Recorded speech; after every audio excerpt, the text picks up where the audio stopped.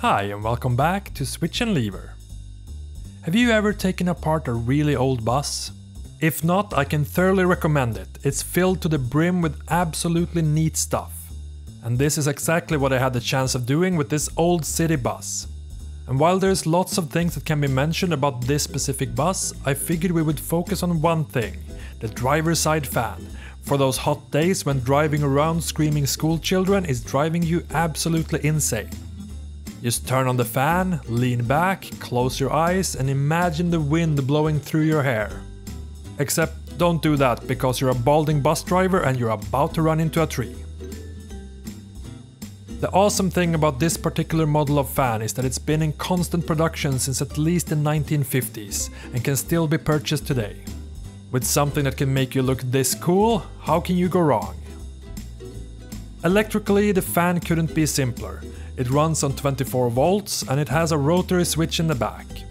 Apply correct power, flip the switch and the fan spins. Easy as that. My thinking was though that a desk fan would be a lot more useful as I lack a vehicle and summers are hell to work in front of a computer. It's not however as simple as just placing it on a table, we need something to mount it on. Straight out of the junk pile comes this auspicious helium container. We can probably chop the top off to mount the fan on, hopefully without blowing ourselves up in the process. I cannot stress this enough, make sure the gas cylinder you're using is empty, especially if it contains any sort of combustible gas. Depress the valve and empty out the gas. If you can't hear any rush of gas exiting the cylinder, you can be reasonably sure that it's empty. Of course, you could never know for sure until you slowly, slowly... Once you've made sure there is no gas in the cylinder, mark where you want to cut off the top. Wide masking tape makes an easy way to get an even mark all around the cylinder. If you've done the previous steps correctly, you should not experience any explosion as you break out the angle grinder. Take your time and make the cut as neat as possible.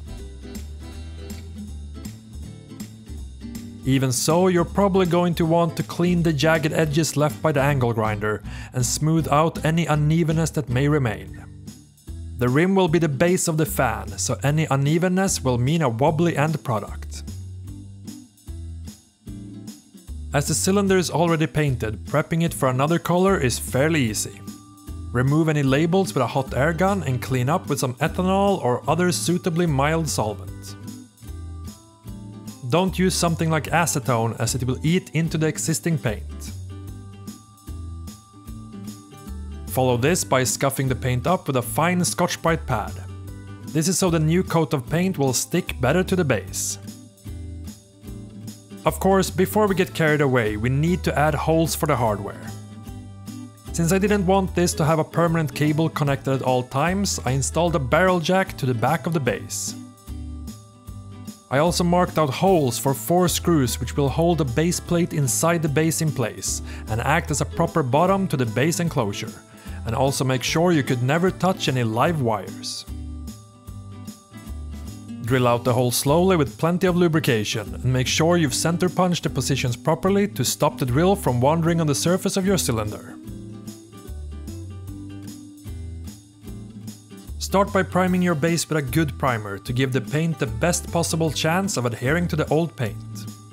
If you feel really enthusiastic you could strip the old paint using a wire brush, but this should be just fine.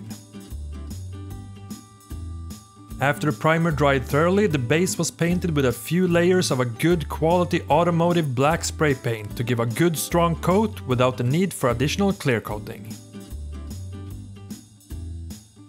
This should probably have been done before painting, but who cares about planning ahead. Mark and drill out the positions you want to attach the arm for the fan. Start with a small diameter drill and finish off with one that's the proper size for the bolt. While drilling, also drill a slightly bigger hole in between the two mounting holes, as that's where we will enter with the cable from the fan into the base. For this reason, filing a small notch in the bottom part of the fan arm is also a good idea so we don't pinch the cable. Make sure all the sharp edges are appropriately filed down, not to cause any undue wear on the cable over time. Solder some wires to your barrel jack and attach a couple of connectors. I chose spade connectors, but screw terminals would work just as well if you're working with exposed wires.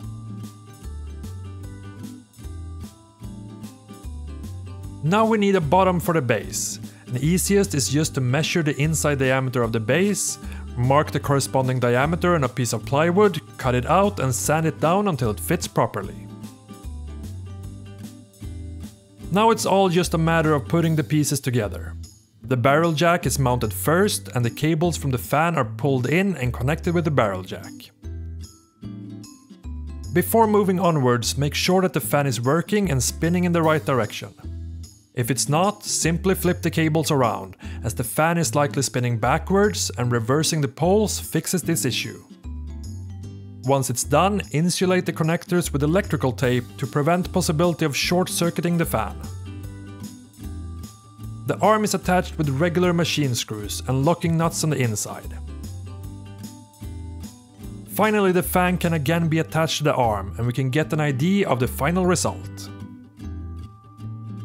The base plate we made before is added to cap everything off.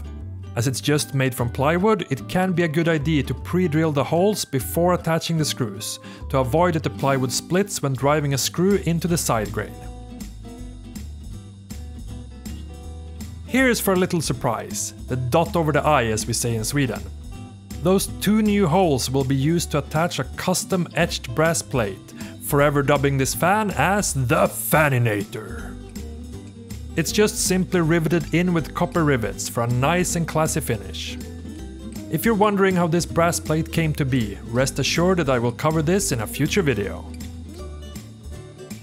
That's it, now you have something to cool off in warm summer days. Something that looks amazing in almost any decor. It delivers a surprising amount of air circulation for its size, and I assume using a dimmer you could get this to run at different speeds than the two settings provided by twisting the switch at the back.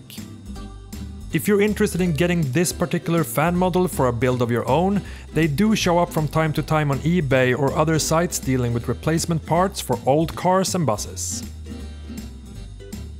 Either way, I hope you enjoyed this project and that you'll check out some of the previous projects from Switch and Lever.